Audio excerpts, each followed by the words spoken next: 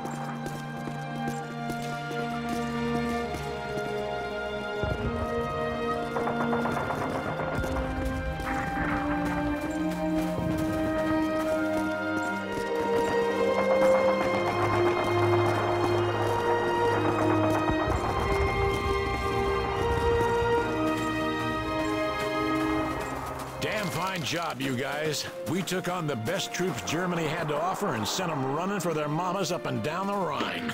I'm proud to serve with you men. You're all good rangers, that's for damn sure. Sergeant Randall, one more thing.